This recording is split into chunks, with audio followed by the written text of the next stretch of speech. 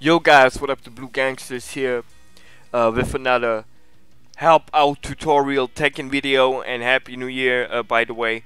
Um, this is not for those guys, this video is not made for those guys who actually know how to do electrics, just frames and all that stuff.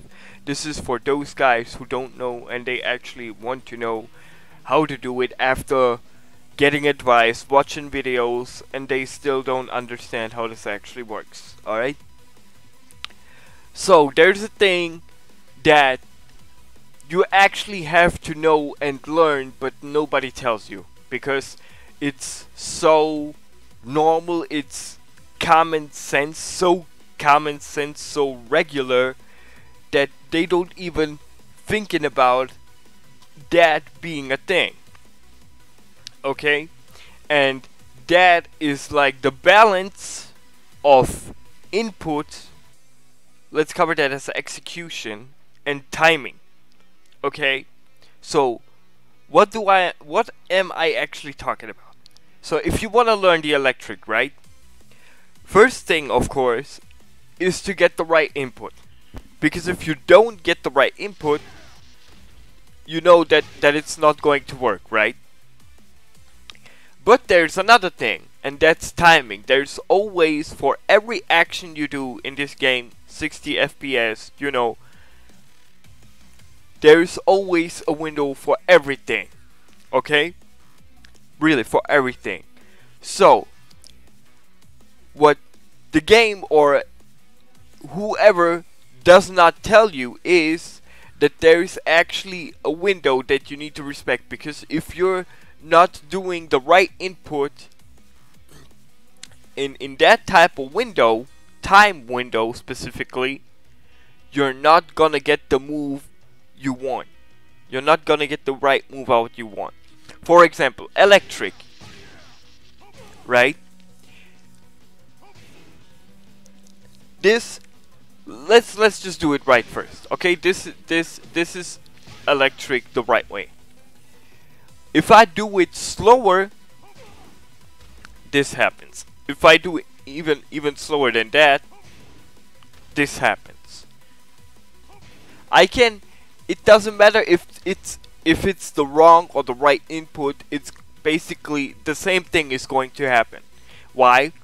Because in order to, uh, for you to get the electric, it's not just doing like pressing what's up there forward neutral down down forward plus 2 it's not only that it's also the timing. Like go into into um yeah the command list and watch this. You see how fast this demo is? And that's that's the thing. It's not only the input but also the timing. If you do it too slow or too fast things like down 2 down four 2 forward 2 or even just 2 are going to happen.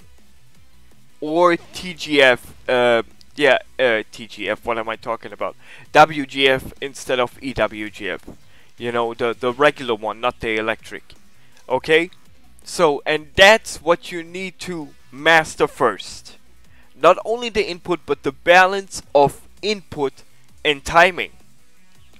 And if you master both, if both of them are on the same level, you then you can do this. Then there is no problem. But that's the thing. Nobody tells you. Nobody tells you to because you just think if I do. Most of y'all maybe think if I do like if I press what's actually up there as fast as possible, it's going to work. That is not the case. That's bullshit. It's not about. It's not about as fast as possible. It's. It's as accurate as possible. By accurate, I mean the input. And then you gotta respect the time window. Just, just watch the demo and try to replicate it. Okay? And if you've done the right input, and it's still just the not electric version, it means that you were too slow. But, never forget, never forget, don't be overconfident. Even most of all times, even if you think that you got the right input done, it doesn't need to be always that case. That means even if you think you got the right input, it still could be the wrong one because I can do electrics like this. You see that? There is no neutral. There is no neutral and still electric. Right? So don't be overconfident when it comes to inputs. Always think, okay, maybe I pressed something wrong and always do your best to get it right. And then you need to learn like how fast you have to execute the input. Because if you do it too slow, if you do it too fast, it's not going to work. You need to get the hang of it. You need to get the hang of the actual time window. And for to master this balance, to get both things right at the same time, there is no other way around. The only thing you can do is to repeat it till it works. That's the only way. Everybody who tells you something else is just talking bullshit. That's that's not the case. You have to. There is no other way around. And I know for a lot of guys this will suck like why does it have have to be that difficult? But that's just the way it is. If you want to learn something like that, you gotta put some effort in it. There's no other way around. There's no easy even if you got a shortcut, right? Even if you got something that makes it easier for you, it's it's not gonna be it's not gonna be the thing you want. It's not gonna be the thing you want. You want it to do it the right way. You want to do it the right way. Even if you like let's say cheat or something. In the end when you really want to use it in a match this is not going to be the thing you want. You want to do it the right way. So you gotta learn it the right way and that means you have to put a lot of time in that. Yeah, depends on how fast you learn it but the thing is you gotta master the right input and the timing window and then repeat it till you get it right and as soon as you get it right let's say you try and try and try and then suddenly suddenly like you get it right like three or four times in a row two times three times or even four times in a row doesn't matter stop put the controller, the arcade stick, whatever you got away, press pause, whatever. Remember that feeling.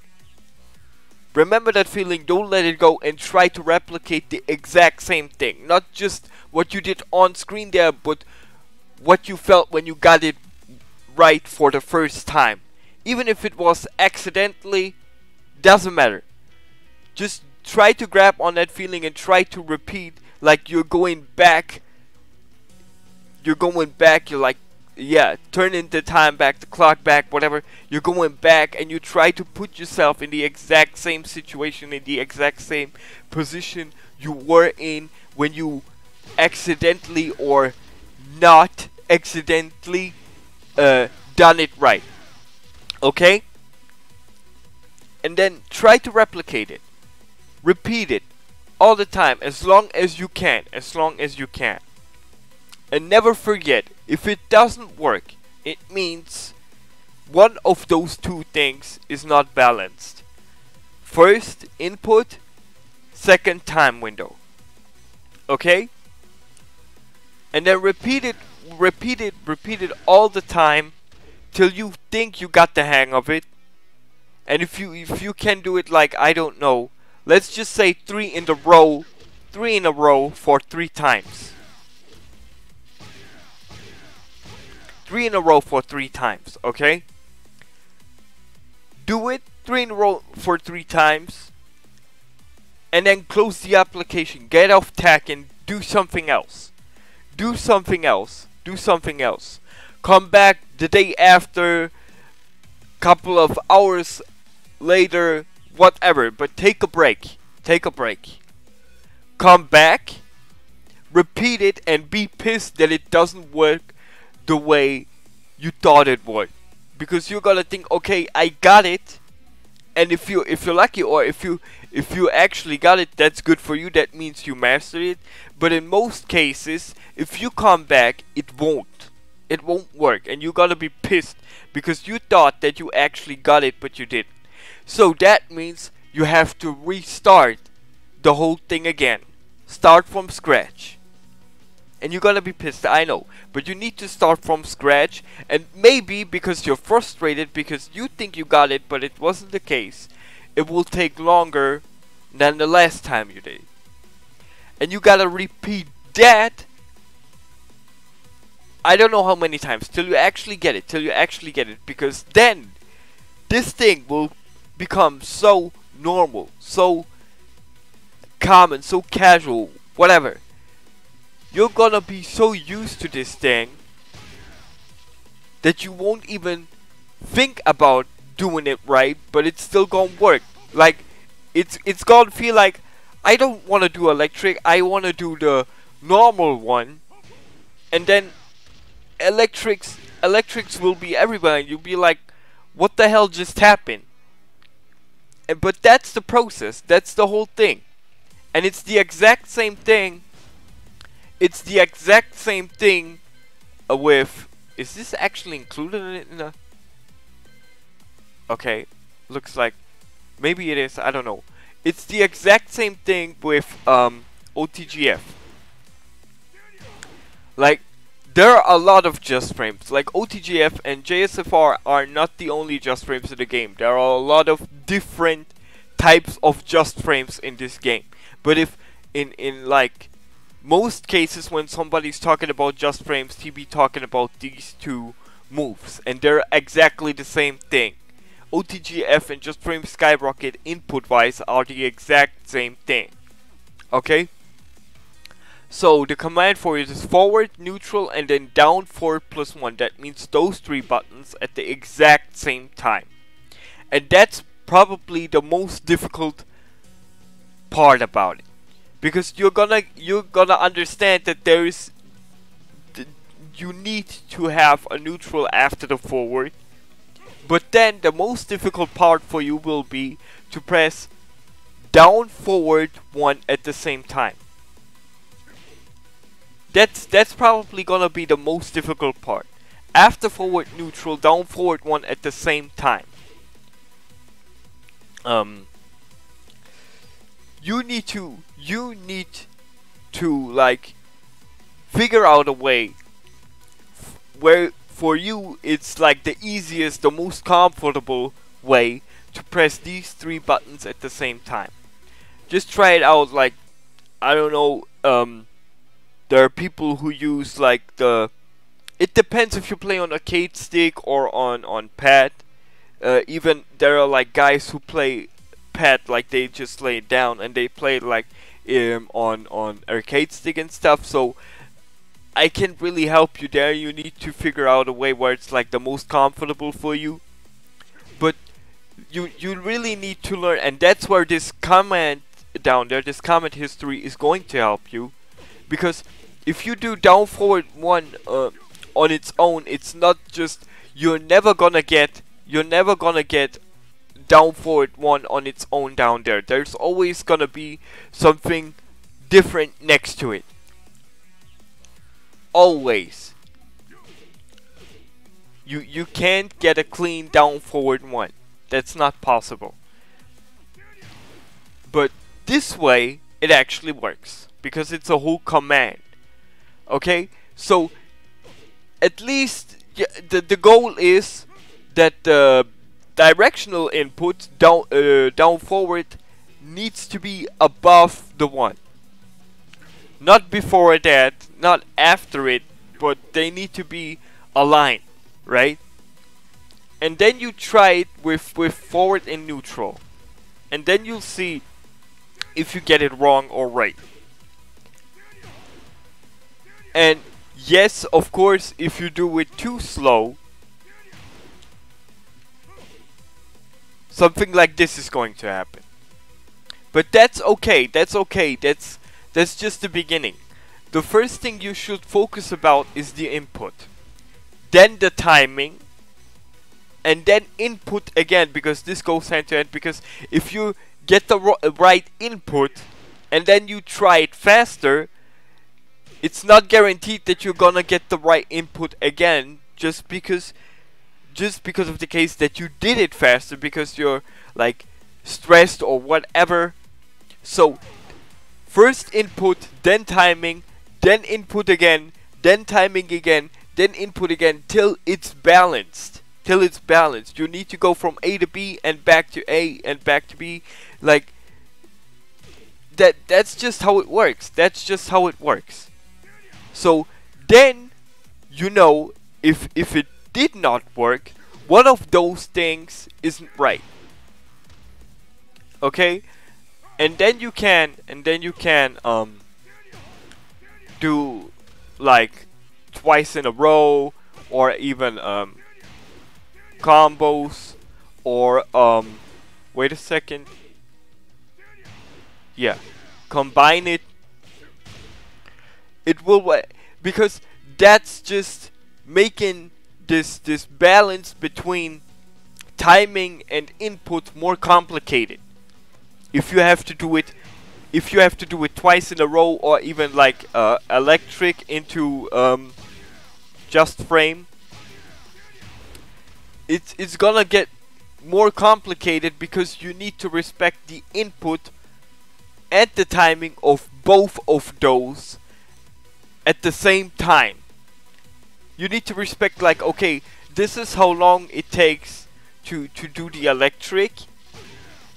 Then there is a neutral in between because you do, you cannot you cannot press OTGF right after electric because things like this will happen again.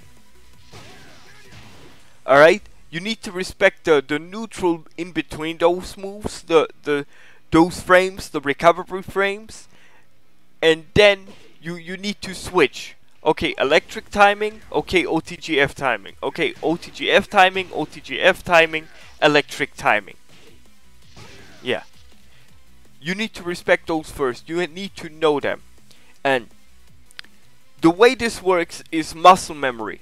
It's muscle memory because your hands are gonna remember that feeling. They're gonna remember that timing your your brain actually does but it works through your hands. So muscle memory because it's like it's like getting a little shock and they gonna remember it how it feels.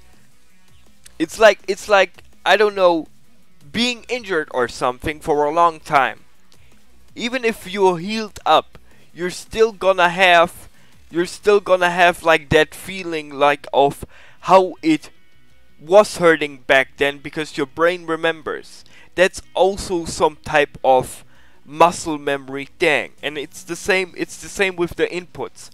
Your hands are going to remember the input and the timing of it and then you need to accustom to it. You you need to get comfortable in that way so you can switch between those right first you need to learn them, them on their own so you actually know what they are about and then you need to get them like comfortable so you can switch between those without having any trouble. And that's basically it. This is everything you need to learn and to know to actually get it done the right way there is no shortcuts, no bullshit, nothing. Because if you use something else or do something that that's not the proper way, if you don't do it the proper way, it's it's it's not going to to work. It's not going to work. It may work for that period of time, but but you you'll never will know how to do it the right way, the exact way.